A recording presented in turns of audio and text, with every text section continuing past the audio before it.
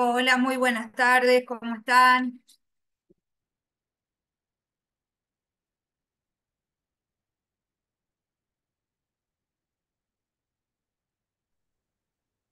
Hola, buenas tardes. Hola, ¿qué tal, Alejandra? Hola, ¿Tanto Clarisa, buenas tardes? ¿cómo andás? Hola a todos. Hola, ¿cómo Mariano? Hola a todos. Hola, ¿cómo buenas tardes.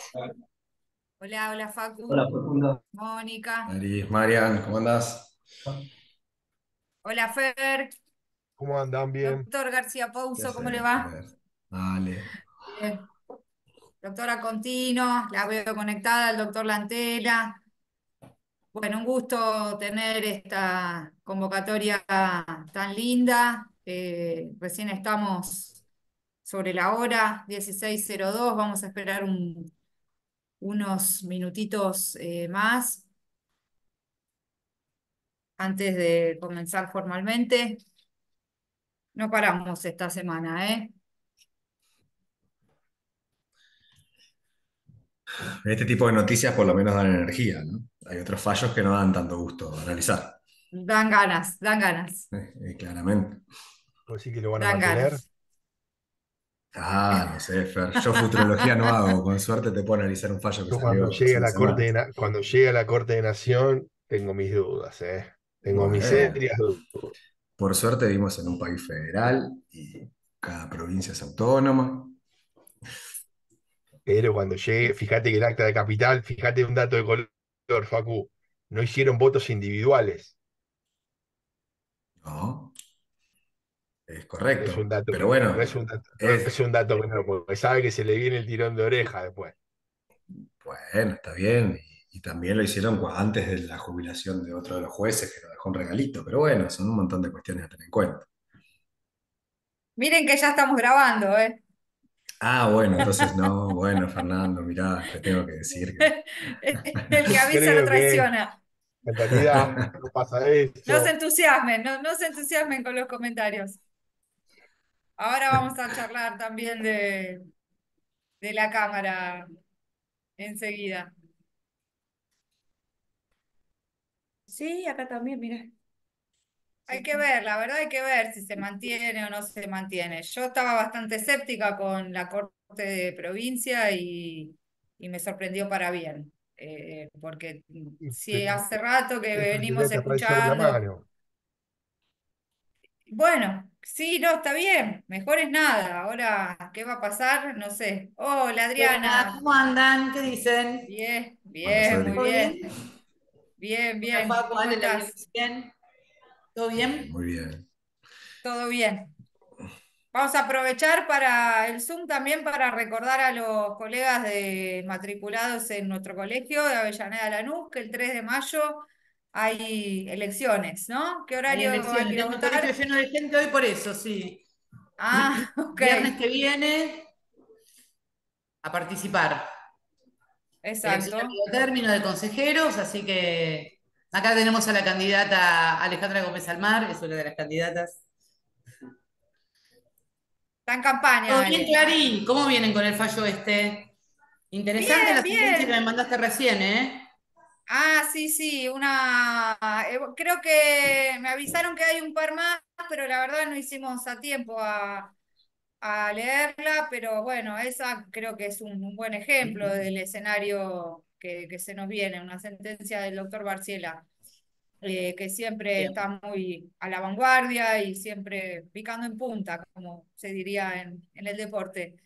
Este, Hola, Fer, sí, estás está haciendo buena. números, vos me imagino, ¿no? Vos que sos especialista en las liquidaciones. yo, yo qué sé, viste, yo, bueno, ojalá, ojalá, ojalá lo mantengan, ¿eh? Tengo mis reparos, ojalá lo mantengan. ¿Qué tenés miedo que, lo cambien en Corte de Nación?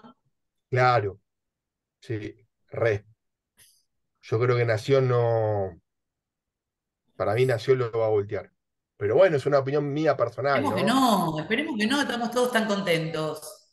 Y, pero, a ver, es una cuestión de política laboral. La provi- pensá que el principal deudor de la provincia de Buenos Aires es la propia provincia. Y bueno, pero mira el fallo. Entonces, ¿viste? Que las cuestiones Eso de la provincia la resuelvan de otra manera, sí, la verdad, pero la de los trabajadores que la resuelvan bien. Ojalá, ojalá, ojalá esté equivocado yo, ¿eh? Pero recontra, ojalá. Sí, todos queremos. ojalá que esté equivocado. Hola, Hola, Diego. Diego. ¿Qué tal? ¿Cómo le va? Buen día. ¿Cómo va? Buen día, buenas tardes. Diego, ¿tienen otro, otro horario en Santa Fe o estamos de tarde? ¿Estás en otro lado? No, no, no. Está, está no para una, pobre el está para una todavía, siesta. entonces bueno, es buenos días. No Está con jet- pobre. En Santa Fe No, está mi- con jet lag. Mientras, Sí. mientras, esté el, mientras esté el sol, para mí es de día. Entonces digo buenos días. Claro. Está muy bien, está muy bien, vale. Eh, bueno, para quienes no los conozcan, el doctor Diego Guirado es el actual presidente de FOFETRA, Foro Federal del Trabajo, una organización más que importante que está cumpliendo un- una función también de, de mucha trascendencia, de mucha capacitación académica y de otro tipo también, que nuclea a la mayoría de los colegios de, de abogados en, lo que hace a sus institutos de, laboral de, de todo el país. ¿Verdad, Diego? ¿Me estoy olvidando de algún dato importante? No, no, Clarisa, sí, sí. Eh, más de 35 colegios, eh, de institutos, de colegios, forman parte. Y soy copresidente porque co- compartimos la presidencia con la doctora Itatí Marchi. A partir del, de, bueno, fines del año pasado y de este año, eh, bueno, tenemos una presidencia compartida eh, con, con Itatí Marchi y, bueno, también otros que vicepresidentes. acaba de ganar el colegio. Exacto, claro, sí, después de, De después de una de semana de Córdoba. zozobras, eh, salió electa presidenta del Colegio de Villa María. Sí, sí, sí. Sí, qué bueno, qué bueno. Sí, Hola. Mariela. Mariela, ¿cómo estás? Doctor Sergio. Aquí Eh, bueno. Hola a todos. ¿Qué tal? Bueno, la verdad que bueno, ya estamos más o menos en hora. Esto eh, en un primer momento lo pensamos como una reunión de instituto extraordinaria por la importancia que, que tiene el, el fallo Barrios, que, que tiene recién una semana, eh, de la Corte bonaerense. Después dijimos, bueno, hagamos una jornada abierta eh, también pensando en trasladar los contenidos del fallo, en primer lugar para los colegas que, que no hubiesen tenido tiempo de, de leerlo, porque es extenso, y en segundo lugar para tratar de dar también algunas aclaraciones, comentarios, de- despejar dudas que, que pudiese haber sobre su hermenéutica.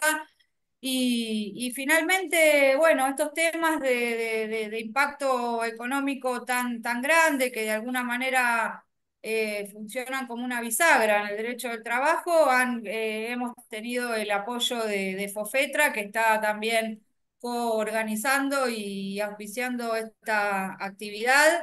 Y, y bueno, realmente está bueno que, que, que se tenga presente este fallo en el resto del país porque es un camino eh, que, hay que, que hay que seguir y que ojalá sea eh, receptado por otras cortes provinciales y por supuesto los fundamentos de este fallo que, se va a abocar después eh, Facundo a, a, a trasladar eh, les sirvan a, todos los colegas, independientemente de dónde litiguen, para, para realizar sus, sus planteos. Eh, como siempre nos gusta decir, de, desde nuestro lugar, desde el colegio, el derecho avanza en la medida que los abogados hacemos planteos, ¿no? Así que ya adelanto una cuestión acá, petición concreta de inconstitucionalidad en los casos donde eh, eh, pretendamos que esta inconstitucionalidad de la prohibición de actualizar sea resuelta.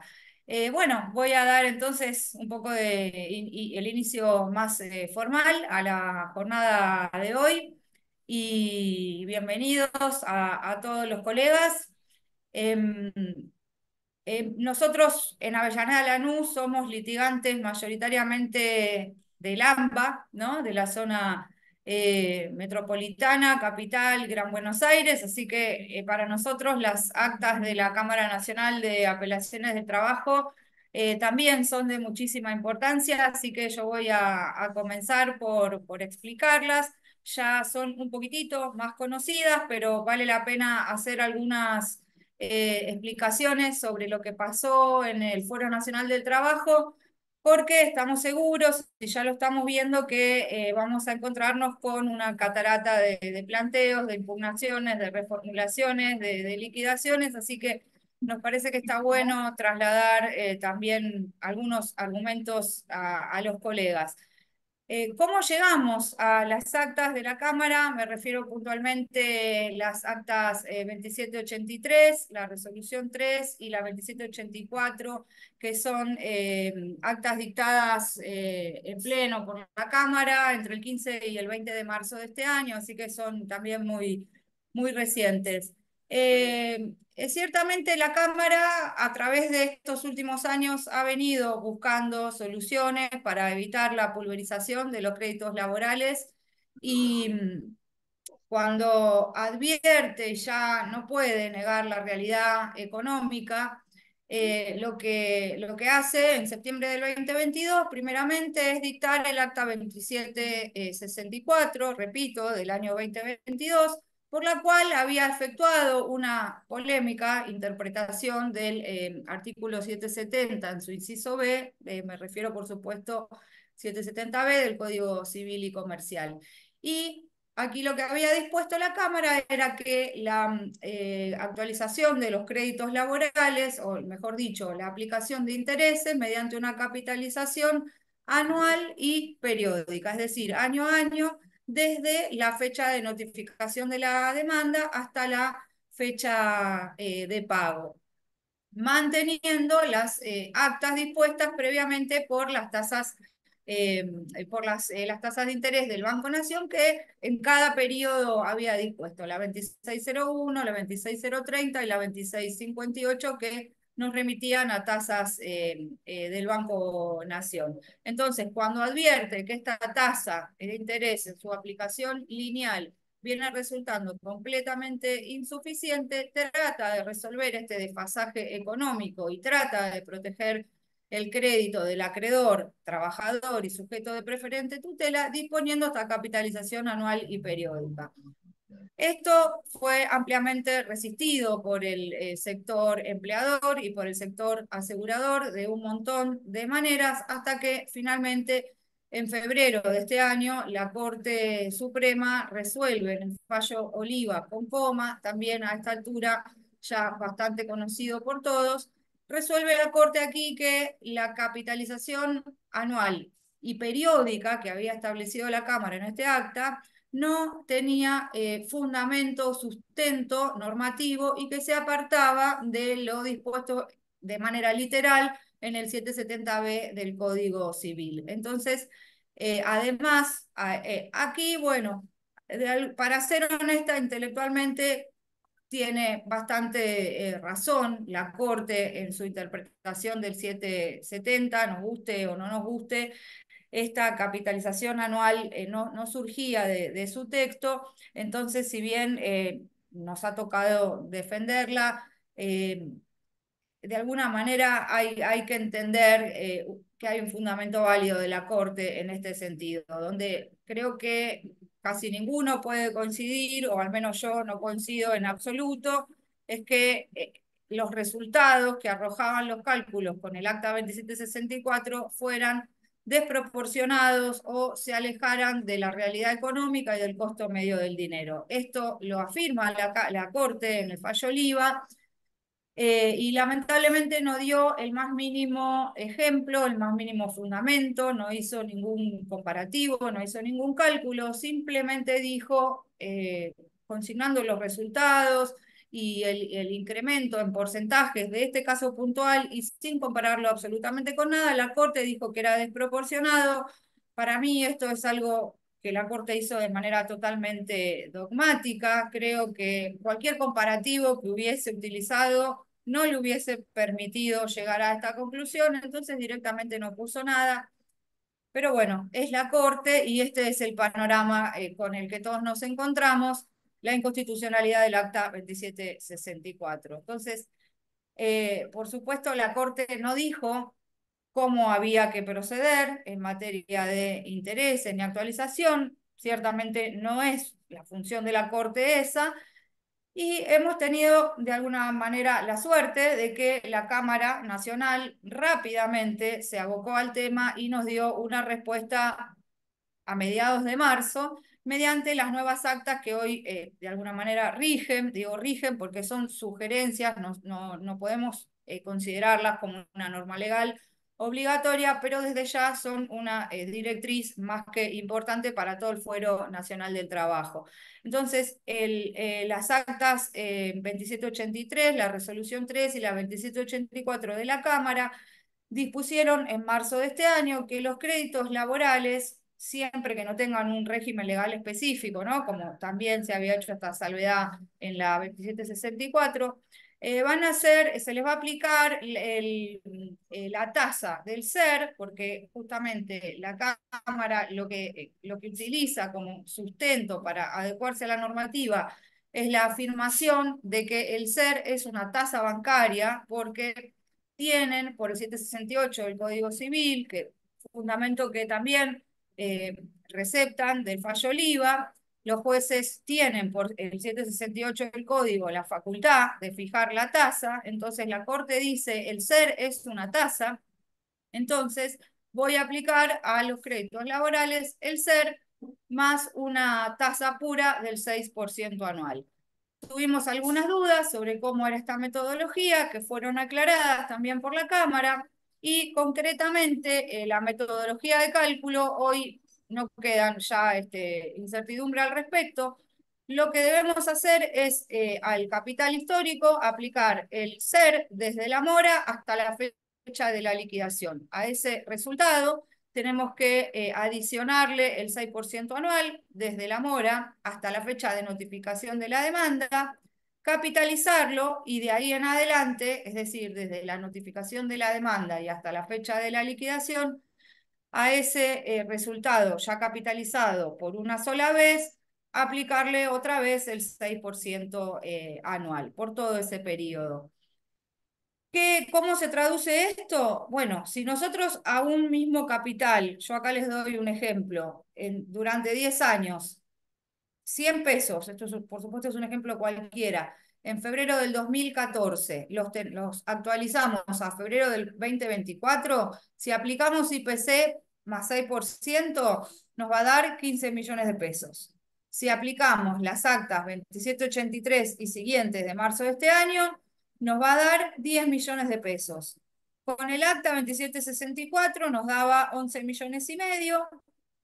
Y si aplicamos el eh, mecanismo del DNU 70, no vigente, aclaro, eh, nos va a dar eh, casi 14 millones. Entonces, vemos que se arriba a un resultado inferior porque este sistema de ser más 6, esta metodología del ser más 6%, eh, ciertamente debe dar eh, eh, numéricamente resultados un poco inferiores a los del acta 2764 y a los de IPC más 6, pero obviamente es muy superador de una tasa con aplicación lineal, sin, sin capitalización y, y, y, desde ya que se arriba un resultado justo, en mi, en mi opinión, o, o bastante justo. Yo creo que la Cámara respetó los lineamientos del fallo Oliva em, eh, porque eh, acepta, por supuesto, que solo se puede capitalizar una vez, también porque recepta esta tasa pura del 6%, que es ni más ni menos eh, la pauta que históricamente fue aplicada como tasa pura. Y nos queda pendiente una discusión que seguramente va a ser el, mayor eh, motivo de, ataque a la aplicación de estas actas, que es el ser. Y acá la discusión es si el ser es o no una, una tasa bancaria. Entonces, em, por supuesto, eh, la Cámara dice que es una tasa, básicamente porque se utiliza para un montón de operaciones financieras y porque eh, se aplica a los plazos fijos ajustables por ser y porque está regulada por el Banco Central, lo cual es el principal argumento de la Cámara para sostener el ser como tasa y eh, em, en función de la facultad que le da el 768 del Código Civil. Eh, hay doctrinarios que entienden que el ser es simplemente un coeficiente de ajuste y por lo tanto viola la prohibición de actualizar contenida en, eh, en la ley eh, 23928 y hasta ahora sostenida lamentablemente en su constitucionalidad por la Corte Suprema. Hay otros que entienden que en, según su utilización es una tasa de interés. El punto es que sea no una tasa de interés o sea un índice, eh, se ha desnaturalizado la función del ser que originariamente nace como un índice de ajuste para corregir el valor de deudas en moneda local ante la inflación. Eh, y más allá de que su origen estuvo realmente ligado a, la actualización de deudas en dólares, hoy el SER se ha transformado en un mecanismo para eh, actualizar contratos financieros y deudas en moneda local en un contexto inflacionario y se aplica a una cantidad muy importante eh, de deudas que han surgido y que son originadas con posterioridad al decreto 214 del 2002, que es justamente el que crea el SER. Entonces, el SER tiene un origen como coeficiente de ajuste para deudas en dólares, pero con el tiempo ha perdido su función y es aplicado como una tasa de interés en eh, muchas operaciones bancarias, fundamentalmente los plazos fijos ajustables por SER. Así que eh, personalmente creo que la Cámara, dentro de las, eh, de, las pocas herramientas que le dejó eh, para ser utilizadas la Corte, ha buscado axiológicamente una solución justa, más allá de todo tecnicismo sobre la discusión del ser. estoy Estoy de acuerdo en que respeta los lineamientos del fallo Oliva y creo que, eh, bueno, he tratado aquí de darle algunos argumentos más para, para la defensa de, este criterio del, 6 más el 6 por, del ser más el 6%. Y em, por supuesto, esto es polémico desde ya. Y ahora sí, pasando al, fallo Barrios de la Corte eh, de provincia. Em, creo que esta charla se podría haber llamado Más vale tarde que nunca. Hace realmente muchos años que estábamos esperando un fallo de este tipo. Desde Colproba se ha dado em, la mayor batalla posible para, eh, para, este, para que se llegue a una solución de este tipo. También ha habido magistrados que intentaron dar eh, respuestas eh, como la que hoy está dando la Corte de la provincia. Se trata realmente de un giro histórico que, que, nos cambia el escenario judicial en la provincia de Buenos Aires, eh, porque como creo que casi todos ya están al tanto, en, en este expediente Barrios con Lascano se ha declarado la inconstitucionalidad de la prohibición de indexar eh, deudas, habilitando nuevamente los mecanismos de actualización de créditos por índices oficiales. Este eh, leading case nos ha dejado, por suerte, sin efecto y en buena hora eh, la tasa pasiva y sienta algunas bases o lineamientos generales para que cada juez determine la fórmula de eh, reajuste monetario más adecuada según las características del caso.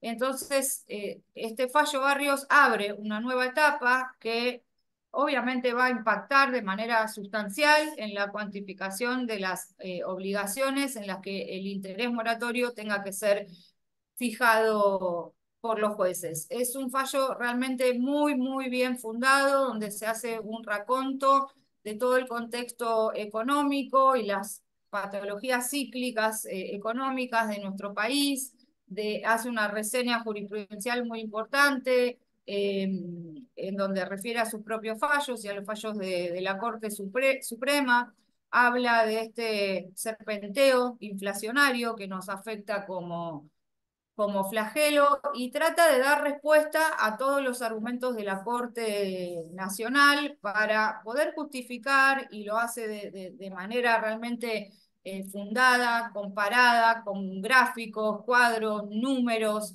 eh, para dar una adecuadísima respuesta jurisdiccional al problema que estábamos eh, padeciendo hasta, hasta el momento.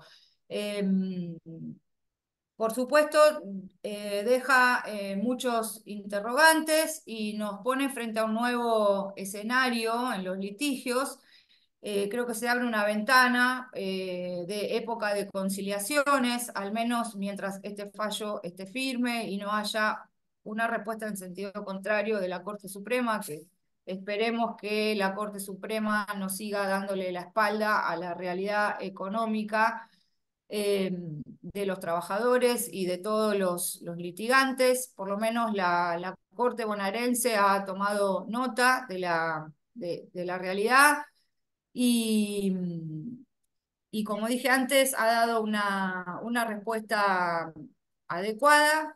Eh, así que hasta, hasta acá eh, llego con mi, con mi parte y los dejo con con Facundo Giampaoli, que, que les va a brindar más detalles sobre los alcances de este fallo y después tenemos un, un ratito también para debate, participaciones, eh, preguntas, comentarios. ¿sí?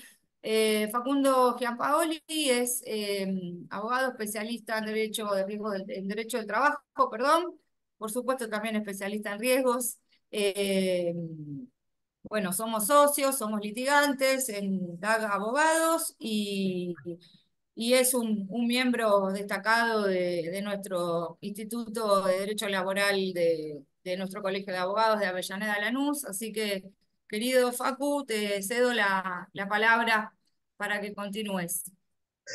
Bueno, gracias Claris. Hola formalmente a todos los que se sumaron. Eh, bueno, obviamente el tema llama mucho interés por la importancia, ¿no? Obviamente, del fallo que vamos a ver y la idea para no aburrirlos básicamente a todos es no hacer un PowerPoint, ir haciendo, digamos, citas literales del fallo, sin perjuicio de que voy a tratar de eh, explicitar para mí por dónde pasa la importancia de los principales puntos y amén de que voy a hacer interpretaciones y alocuciones personales, que siempre las hago, lamentablemente a veces no sé dejar de dar mi opinión, eh, pero la realidad es que la mayoría de las cosas que voy a hablar eh, son extractos directos del fallo, quizás con mis palabras, pero para tratar de darle mayor fuerza a la idea de que en realidad no es la opinión de un abogado litigante, sino que estamos ante la postura doctrinaria del Supremo Tribunal de la Provincia de Buenos Aires. Es un fallo extremadamente importante porque modifica directamente una doctrina que ya lleva más de dos décadas. ¿Y qué significa la doctrina que se está modificando? Es lisa y llanamente salir del histórico nominalismo y pasar hacia un valorismo. Algo que hace muchísimos años que venimos reclamando los abogados. Eh, lamentablemente no teníamos buena recepción en los tribunales, obviamente lo vamos a enfocar en el ámbito del derecho de trabajo, y por lo general la excusa para no hacer lugar a este tipo de pretensiones era la doctrina casatoria del Supremo Tribunal. Y el Supremo Tribunal entiendo yo que lo que está haciendo ahora es corriendo que se vaya a dar y diciendo, bueno, a ver, eh, si antes este era el problema, ahora ya no hay más, pero con muy buen tino, y acá coincido con Clarisa, creo que el fallo de la Suprema Corte que vamos a analizar Barrios es de una calidad técnica muy elevada. Y no podía ser de otra forma, porque realmente es muy importante la modificación doctrinaria y como bien decía Fernando antes de que empecemos, también tiene que abrir el paraguas, perdónenme la vulgaridad, a lo que podría llegar a ser la interpretación de la Corte Suprema respecto de una eventual revisión de este fallo. Entonces, este fallo es votado por cuatro integrantes de la Corte, los cuatro que están. El Supremo Tribunal debería tener siete ministros, pero lamentablemente hay cuatro, y próximamente van a quedar tres, por unanimidad, y el voto principal es del doctor Soria, que yo creo que el fallo lo divide en dos partes distintas. Una primera parte que se dedica a explicar, a hacer un análisis económico, financiero, histórico, y a explicitar el por qué en algún momento la doctrina que ellos mismos sostuvieron tenía algún tipo de sentido de por qué debe dejarse de lado hoy por hoy. Brevemente, para que se entienda el contexto del fallo, lo que se plantea en el tribunal es que la norma puede haber nacido con una validez constitucional y convencional, porque el artículo 7, digamos, de la ley 23928 de convertibilidad surge en un contexto, obviamente, en un paquete eh, de estabilización ambicioso, así lo define el Supremo Tribunal, en donde lo que se buscaba era una especie de paridad y matar de una vez la inflación, estableciendo una prohibición de carácter general de la actualización, repotenciación, indexación, etc. Obviamente, en ese contexto, estamos hablando de una paridad 1 a 1, con una inflación que realmente no era considerable, uno podría entender que tenía cierta eh, lógica esta prohibición general de indexación. Pero obviamente estamos hablando del principio de la década de 1990. Miren si han pasado cosas en nuestro país. Hemos salido de la convertibilidad, aunque la posterior ley de emergencia 25561 derogó la fundamentación de lo que tiene que ver con el plan de convertibilidad, pero dejó en columna la imposibilidad de actualización. Entonces, la Suprema Corte, a través del voto de Soria, hace un raconto de todos estos desfasajes y la búsqueda que hizo el propio tribunal y los tribunales inferiores de vías indirectas de poder ni más ni menos que eh, mantener incólume o intentar mantener incólume el crédito litigioso sin recurrir a la última ratio que es la declaración de inconstitucionalidad. En todo este análisis que hace, llegamos a lo que tiene que ver para mí con eh, los puntos centrales de la doctrina de este fallo, en donde yo creo que se basa en tres premisas específicas. Número uno, la Suprema Corte llega a la conclusión de que la norma en cuestión, o sea, el artículo 7 de la 23928, priva a los jueces de un instrumento muy valioso en el contexto macroeconómico en el que nos estamos eh, desenvolviendo hoy por hoy, que es la posibilidad de actualizar, indexar o repotenciar los créditos. También establece que la norma en su origen puede ser válida constitucionalmente, pero durante el tiempo de su vigencia puede perder coherencia con las reglas de jerarquía superior. O sea, hoy por hoy no respetarían los principios constitucionales ante un orden de eren, principio de razonabilidad, derecho de propiedad, tutela judicial efectiva, etc. Y también hace alocución a una, a una cuestión muy importante para mí, porque es algo que venimos sosteniendo desde hace mucho tiempo, al menos con Clarisa y sé que muchos otros colegas, que es el aumento de la litigiosidad. El sistema en la actualidad ofrece incentivos para no cumplir o profundizar la morosidad con estrategias de obstinada litigiosidad habla la Suprema Corte.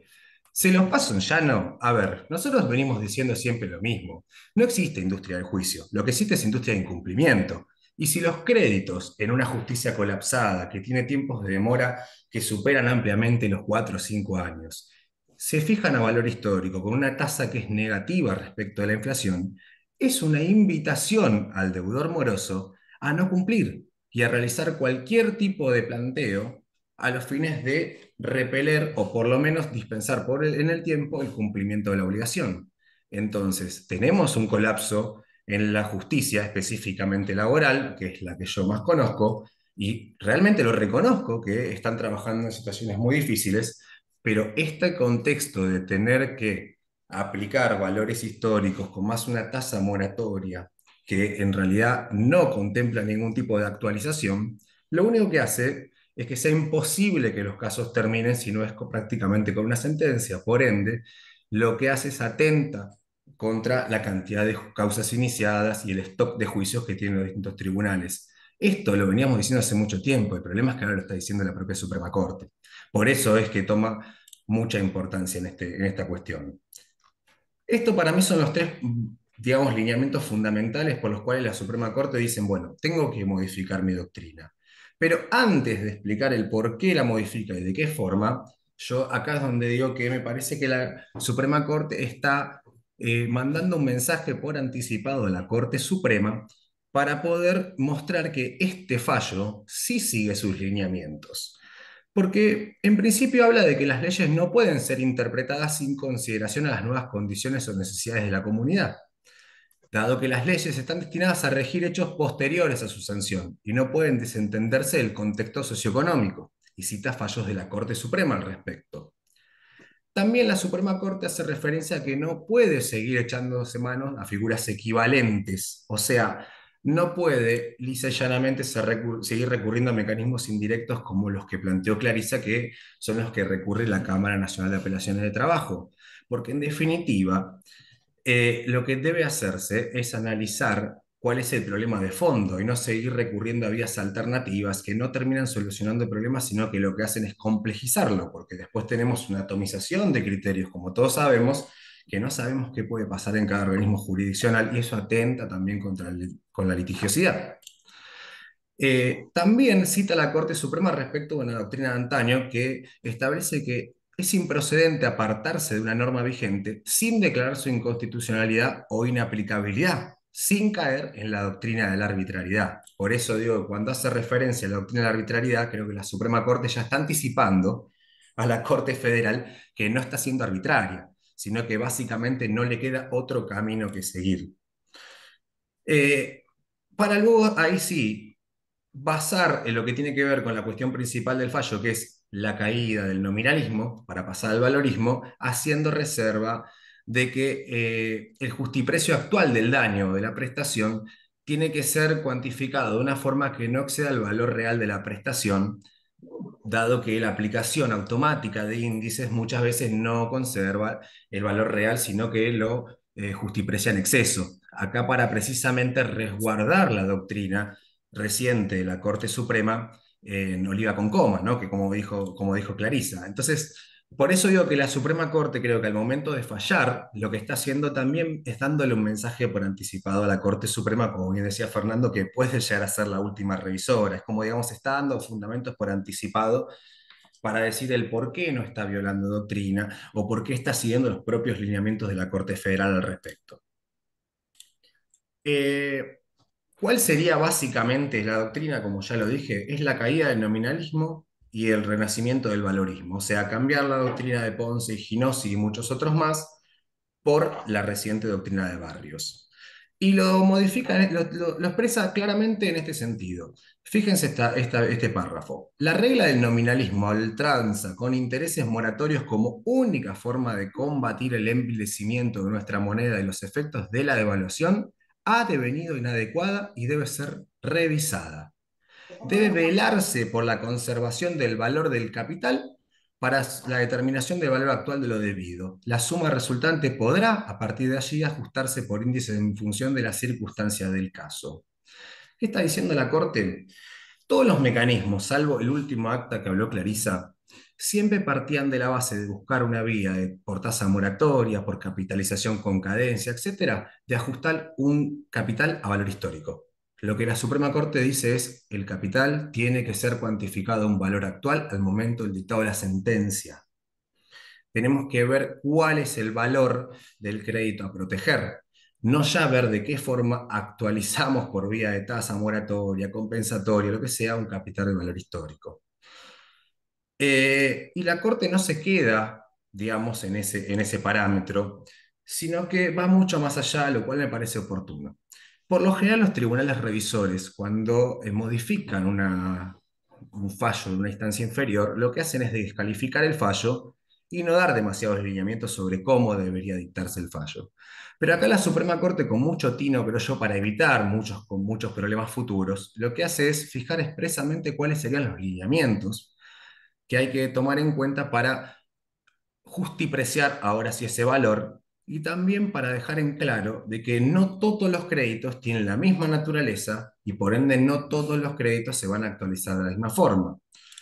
Y acá expresamente la Suprema Corte hace referencia y, por ejemplo, nos, plantea, debemos advertir aquí que existen voces minoritarias.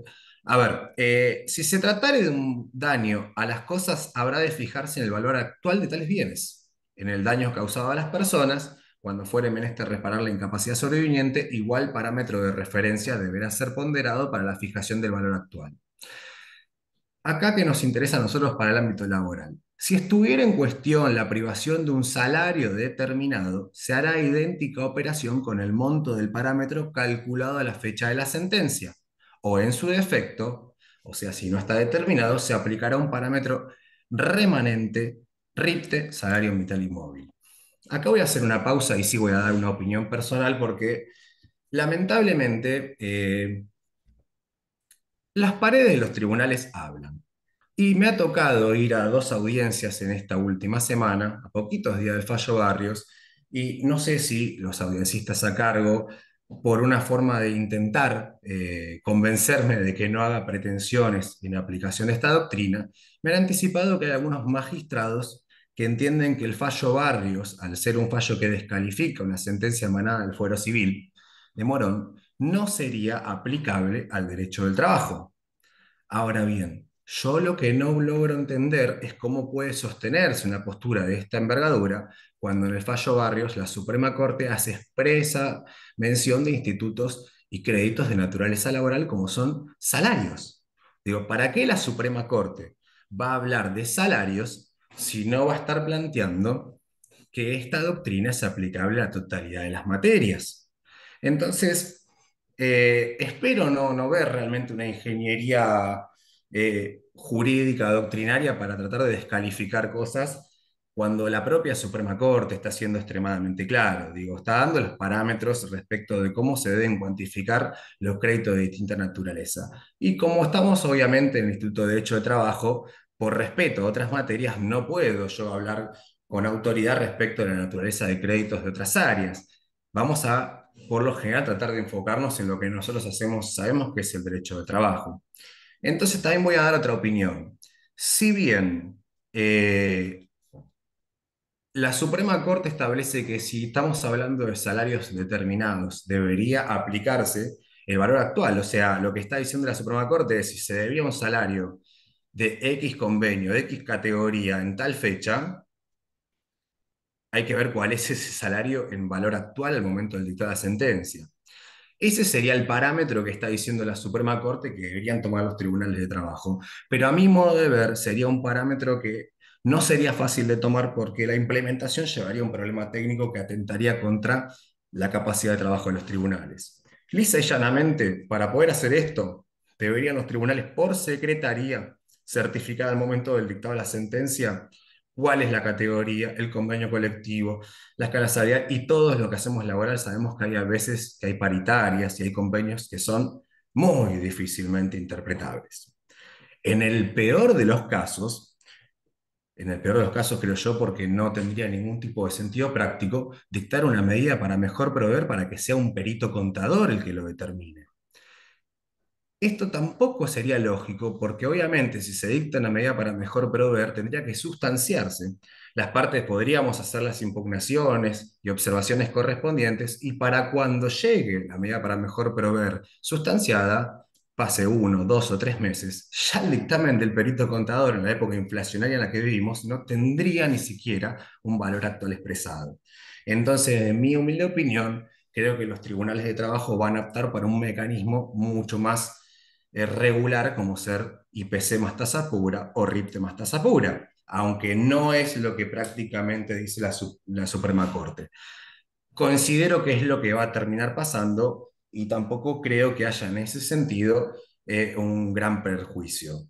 También me acuerdo cuando salió el fallo que estuvimos discutiendo esto con Clarisa y vamos a ver eh, si el RIPTE sería un parámetro adecuado, si no habría discriminación entre trabajadores, yo considero que el RIP de hacer un promedio siempre va a discriminar a aquellos que están por arriba del promedio y va a beneficiar a aquellos que están por abajo.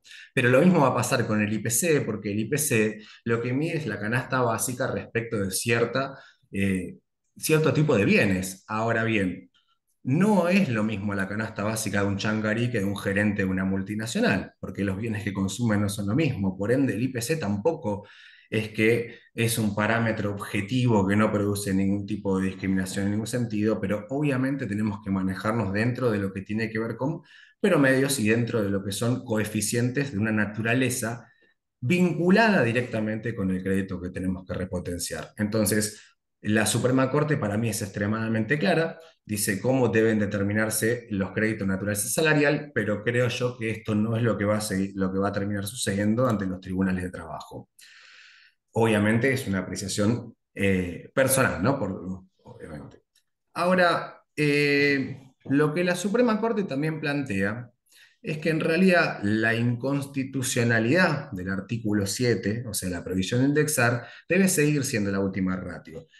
Dice que primero debe intentarse la solución del entuerto, esta es la palabra que utiliza, mediante la aplicación de normas análogas instrumentos alternativos de, preservación del valor. Y en caso de no ser posible, la inconstitucionalidad. O sea, está abriendo la puerta que busquemos por, bien, por vía de eh, mecanismos alternativos, quizás, quizás, no estoy seguro, abriendo el parámetro para los riesgos o algo por el estilo, eh, mantener incólume el valor y seguir, digamos, resguardando la depreciación monetaria y en el caso de que esto no sea posible, declarar la inconstitucionalidad en forma directa de la norma y buscar un parámetro de actualización respecto de ese crédito en particular. También la Suprema Corte eh, deja específicamente lineamientos respecto de cómo deben ser las pautas que tienen que tomar los jueces para cuantificar ese valor. Eh, lo cual, a, mi modo de ver, es muy favorable porque eh, reduce un poco la discrecionalidad que puede tener cada organismo jurisdiccional. Y establece principios y los enumera taxativamente. Establece, por ejemplo, que debe respetarse la interdicción, o sea, la prohibición del enriquecimiento sin causa, la interdicción de conductas que importen abuso de derecho, la buena fe demostrada por las partes en el litigio, la equidad, la equivalencia de las prestaciones, la morigeración del esfuerzo, de los resultados excesivos y en su caso el esfuerzo compartido. Y también hace una locución respecto de los juzgadores, o sea, de los jueces. Dice, en el plano objetivo, la decisión ha de observar el principio de congruencia. O sea, tenemos que ser congruentes respecto de lo que estamos actualizando y el parámetro que vamos a intentar hacer. Y esto me acuerdo que es una de las primeras cuestiones eh, que salió en la discusión cuando salió el fallo con Clarisa. Digo, no podemos aplicar el RIPTE para actualizar el valor histórico de un daño material en el marco de un juicio civil y comercial. O sea, ¿qué tiene que ver el valor de la rueda que me robaron con el RIPTE? Por eso es que la Suprema Corte lo que dice es cada crédito hay que analizar su respectiva naturaleza y buscar la forma adecuada de llevarlo a un valor actual al momento del dictado de la sentencia. Eh, el Supremo Tribunal también expresamente dice que la utilización de índices debe ser emanado por organismos oficiales y nombra como ejemplos, en forma taxativa, el Banco Central de la República Argentina, eh, el INDEC, el Ministerio de Trabajo, perdón, la Secretaría de Trabajo actualmente, dependiendo del Ministerio de Capital Humano, y los índices que van saliendo. Por eso hablamos de IPC, o de RIPTE, o de eventualmente un coeficiente, que en este caso podría ser, por ejemplo, el SER. Después discutimos si es coeficiente o tasa en los términos de la Cámara, como planteaba Clarisa. Pero bueno, son posibilidades que se pueden dar. Eh, y asimismo, como obviamente está saliendo de su doctrina previa y pasando nominalista y pasando al valorismo, hace una locución respecto de que entonces rige cuál es la doctrina del Supremo Tribunal respecto de lo que son los intereses moratorios respecto de deudas fijadas a valor actual y establece una tasa de interés moratorio que yo me pregunto si es un tope, no lo sé, porque dice, más allá de la eventual consideración de otras tasas legales o convencionales válidamente autorizadas por el ordenamiento jurídico, al monto resultante se adicionará un interés puro no mayor al 6%, cuya graduación en cada caso podrá vincularse al tipo de índice de actualización aplicado. Eh, esto tiene, tiene algún tipo de sentido, es doctrina básicamente del Supremo Tribunal, también de la Corte Federal y también lo es del Supremo Tribunal de la Ciudad Autónoma de Buenos Aires. Cuando la deuda está cuantificada a un valor actual, hay que aplicar una tasa pura, una tasa activa y mucho menos una tasa activa efectiva eh, digamos que ahí podríamos entrar en lo que es la desproporción de la cuantificación que hace la Suprema Corte, eh, también en el propio fallo Barrios. Pero bueno, estos son básicamente los lineamientos, entonces por eso aplaudo el fallo de la Suprema Corte, porque independientemente de la justicia, tardía, como dijo Clarisa, pero justicia al fin, baja lineamientos muy claros, muy concretos y eh, da un marco de referencia para que los tribunales inferiores se puedan manejar. Voy a brevemente, Clary, si quedan unos minutitos, voy a hablar sobre otra cuestión también que lamentablemente eh, escuché en los pasillos. Los fallos de la Suprema Corte no son obligatorios, no son vinculantes. Bueno, a ver, lo cierto es que la Constitución de la provincia de Buenos Aires, en el artículo 161, marca la potestad del Supremo Tribunal de determinar la validez constitucional de las normas. O sea, es una cláusula constitucional. Cierto es que la Constitución Nacional, federal, establece que el control de las normas es de carácter difuso, no concentrado, y pareciera ser que la Constitución de la provincia de Buenos Aires establece otro principio. Eh, lo cierto es que no hay una norma expresa que establezca que las sentencias emanadas del Supremo Tribunal de la Provincia de Buenos Aires tienen efectos casatorios. Más bien es una cuestión práctica porque la propia Constitución la pone como cabeza del Poder Judicial y le da el mandato de controlar la constitucionalidad de las normas. Y se supone que los tribunales inferiores no pueden apartarse de esta doctrina a no ser que tengan fundamentos novedosos, ampliatorios o que hayan cuestiones que no hayan sido tratados. Esto, por ejemplo, lo ha tratado en su momento el doctor Orsini, que fue de los pocos jueces que se animó a desoír a la Suprema Corte en el caso Marchetti, donde ahí sí todos los jueces de la provincia siguieron las facultades supuesta casatoria de la Corte, eh, donde planteó nuevos argumentos para esbozar. Pero a mi modo de ver, eh, esta doctrina, si bien no podemos decir si, que tenga facultades casatorias, la realidad es que en la práctica lo va a tener, porque al ser una doctrina emanada del Supremo Tribunal, tenemos que tener en cuenta que para el caso de que un tribunal de trabajo, un tribunal inferior, se aparte de esta doctrina, va a quedar automáticamente habilitado el recurso de eh, violación de doctrina legal, de inconstitucionalidad y violación de doctrina legal del artículo 56 de la 11653. Y por ende, como este, este recurso no establece ningún tipo de eh, tope, ni piso, ni depósito previo, o sea, básicamente vamos a poner cada vez que un tribunal inferior se aparte de esta doctrina, al menos en el ámbito del derecho de trabajo, recurrir en forma directa a la Suprema Corte. Razón por la cual también espero que los tribunales inferiores no empiecen ahora a apartarse de esta doctrina eh, cuando en su momento, y perdonen la, alocución que hago, en su momento cuando pedimos que se aparten de la doctrina, cuando validaron Marchetti, nadie lo hizo, salvo el doctor Orsini. Entonces espero que ahora no, no se aparten de esta doctrina, digamos, correspondiente. Y brevemente, dos cositas, una cosita más, Clarisa. Me gustaría también eh, aclarar que no bajamos las banderas respecto de la obligatoriedad de aplicación del 770. El fallo Barrios, al determinar las deudas de valor en los términos del artículo 772 del Código Civil y Comercial, que está incluido dentro del capítulo de las deudas de dar dinero, establece que una vez definido el valor de la deuda, son aplicables los términos de este capítulo, razón por la cual el 770 sigue siendo normativa positiva vigente y nada tiene que ver el fallo Barrios respecto de su aplicabilidad o no razón por la cual entiendo que las capitalizaciones dispuestas en la norma son plenamente válidas y no tiene nada que ver esta doctrina respecto del reclamo que venimos haciendo históricamente también los abogados y quizás más tarde que nunca, Clarín, en algún momento también se haga justicia y nos den la razón.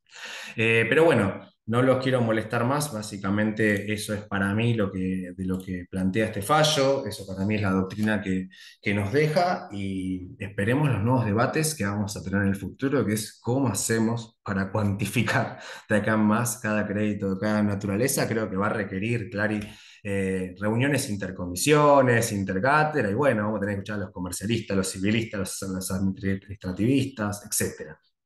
Sí, sí, gracias, Facu, siempre clarísimo lo tuyo. Me, encantan nuestros debates que terminan siendo después públicos, aunque público no, no nos peleamos mucho, pero internamente sí.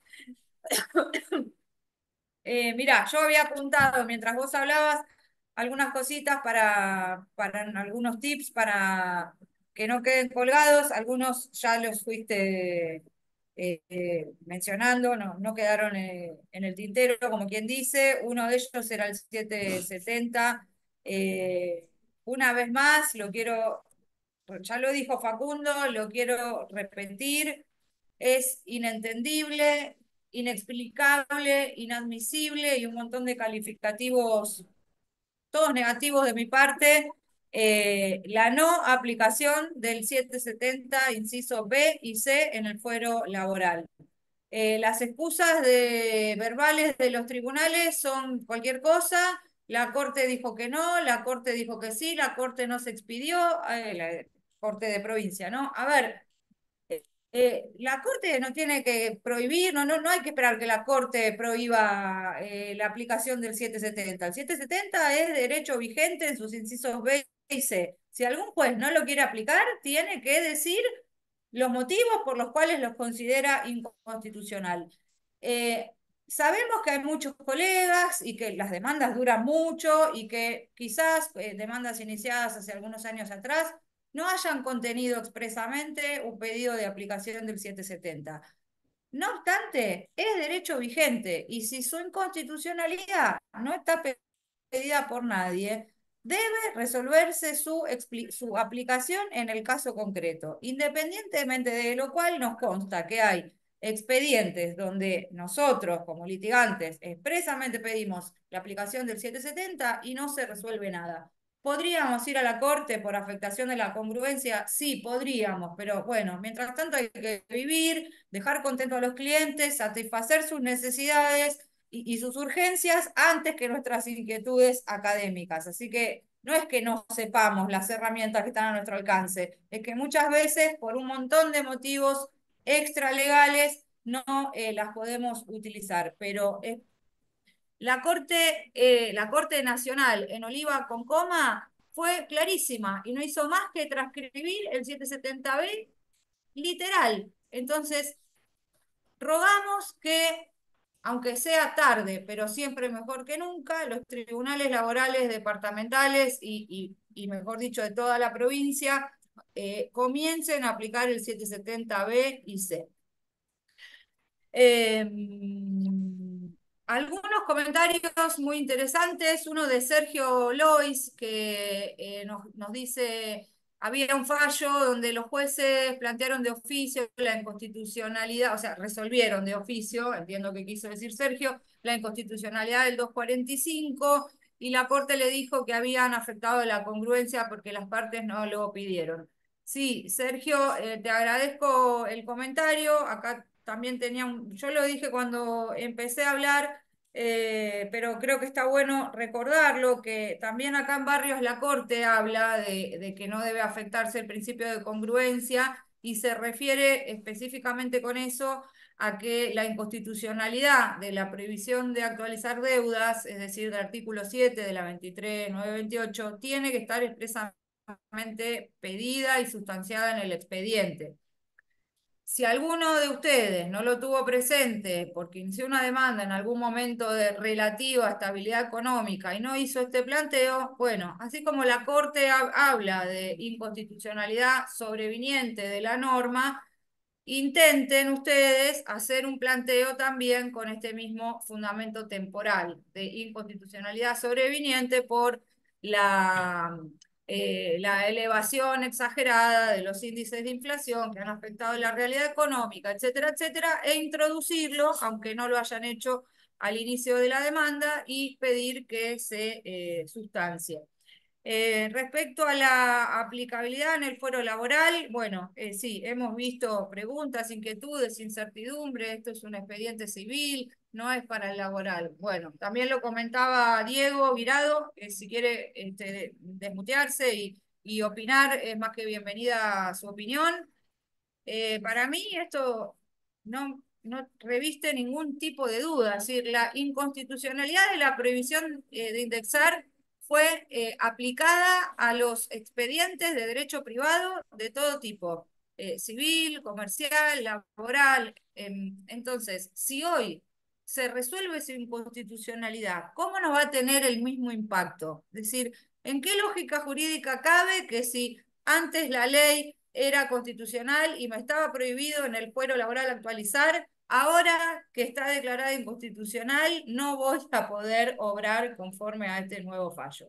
Bueno, para mí esto no resiste análisis, eh, claramente es aplicable al, al, fuero laboral. Y por supuesto, no podemos dejar de tener presente que el recurso a los índices está relacionado con la índole del crédito y se debe procurar el que mejor se condice con la realidad económica que representa el crédito. Es decir, ni siquiera la, la, Corte acá no está diciendo una, una tasa o un índice para cada fuero. Ojo, para cada crédito. Así que ojo con esta diferenciación. Y también nosotros como abogados nos corresponde, creo yo, eh, eh, coadyuvar, ayudar a los jueces, incorporando elementos para la mejor evaluación del daño y de ese crédito, ¿sí? Porque si no también no podemos nosotros como abogados descansar en que el juez va a resolver qué es lo que mejor sea para el caso. Por supuesto, lo va a resolver el juez, pero nuestro trabajo también es demostrar, comparar, eh, analizar y fundamentar cuál es el mejor eh, tipo de índice que corresponde a nuestro crédito. Em, a ver, este, Facu, si había una pregunta creo que de Mariela, dice que parece el, el, el 6% sería un tope máximo. Sí, yo lo entiendo de esa manera. Em, el tema es que cuando se aplican índices de repotenciación de deuda, se descargan de la tasa de interés los componentes inflacionarios. Entonces se alude al interés puro que tradicionalmente la doctrina y la jurisprudencia consideraron en el 6% anual. Eh, esto no obsta que ciertas obligaciones, de acuerdo a su fuente, puedan presentar alguna variación y hay que tener siempre en claro que indexación no es interés. Frente a una deuda repotenciada, el interés vuelve, según el caso, a tener la función de resarcir los efectos perjudiciales de la mora. Por lo tanto, esta tasa de 6% es un, sí, la Corte dice hasta el 6%, Marie, por lo tanto, lo entendemos como un tope y en concepto de interés moratorio. Eh, ya deben estar aburridos de escucharme. A ver si hay más comentarios. Yo, yo creo, creo, Clary, que acá en este caso también podríamos llegar a plantear, me parece que acá sí, en el fuero del trabajo, quizás la Suprema Corte debiera de revisar esta, este tope que pone del 6% y quizás analizar la posibilidad de imponer una tasa preferencial para créditos de naturaleza alimentaria conforme lo dispone el Código Civil y Comercial desde su vigencia en el 2015, eh, que es ni más ni menos que la postura que tiene la Cámara Nacional de Apelaciones de Trabajo. La tasa del 6% es una tasa pura que han fijado básicamente como doctrina al Supremo Tribunal Provincial como la Corte Federal. Eh, para precisamente como decís, porque el dinero está, o la obligación está evaluada al momento de la condena. Ahora, no es lo mismo, los créditos no tienen toda la misma naturaleza y por ende hay créditos de carácter alimentario. Me gustaría, por ejemplo, hacer alguna reunión con la, Comisión de Familia, eh, digamos también, ¿no? Porque hay créditos que tienen una naturaleza que me parece que la tasa debería ser, no digo una tasa activa, una tasa pasiva, pero quizás del 8, quizás del 12. Eh, en ese sentido, me parece que la tasa del 6% igualando a todos no sería lo más justo. Eh, pregunta, gracias Facundo. Pregunta acá un colega, eh, eh, la pregunta es muy, muy coloquial, pero no por ello menos válida y estoy segura que ronda en la cabeza de, muchos. los que hacemos demandada, ¿estamos al horno? Pregunta. Y yo diría, no, me parece que van a pagar lo que corresponde. Y el que estaba parado en un colchón de dólares o en alguna otra inversión, este, quizás de criptomonedas o alguna por el estilo, seguramente va a ganar igual. Y ni que hablar si, si entra en vigencia eh, no el DNU, que en mi opinión ya no, no, es, no está en vigencia, aunque para algunos sí, eh, pero si de alguna manera se reafirma su, su criterio de IPC más 3%, bueno, deuda valor actual más 3%, yo creo que hay muchos especialistas como el colega que pregunta, que con distintos tipos de inversiones pueden tener una ganancia superior al 3% anual. Así que en realidad mi respuesta, si los demandados están al horno, es no. Creo que van a pagar lo que corresponde y en muchos casos, si se paran en una buena inversión para, eh, para mientras transcurre el litigio, incluso eh, van a pagar menos eh, de lo que corresponde. Eh, esa es mi opinión, podemos debatir. Eh, claro, y eso sería, obviamente, si lo restringimos al derecho laboral, ¿no? Porque si hacemos una mirada integral, la empresa no se limita solamente a los reclamos laborales que tiene, también a su vez es reclamante muchas veces de créditos de naturaleza civil contra aseguradoras, que ahora va a cobrar valores reales. Entonces, en definitiva, Me acuerdo que esta discusión se dio cuando tuvimos la, la charla con Guillermo Unzaga Domínguez, ¿no? Que en definitiva era cómo hacemos para actualizar. Y me parece que hay que pasar a la lógica de que tenemos que acostumbrar a los argentinos a pagar lo que debemos. Pero esto es una, mirada integral, sí, quizás va el crédito laboral va a estar actualizado, pero ojo que la empresa, el empleador, también va a ser acreedor en otros juicios de otras naturalezas que se va a ser beneficiado por este tipo de fallos, así que no veo cuál sería el prejuicio. Bien. Eh, bueno, yo no veo más, más preguntas y sí, aprovechando unos minutitos más, eh, antes de que comience el otro Zoom académico del colegio, eh, que está a cargo de la doctora Marisa Herrera y otros colegas sobre derecho de familia. Aprovechen, estamos abiertos a comentarios, opiniones, alguna pregunta que quieran formular a viva voz, no sean tímidos. Estamos entre colegas, eh, esto es reciente, estamos todos pensando en voz alta y, tratando de simplemente de abrir un poco el camino. Eh, a ver, ¿nadie quiere hablar?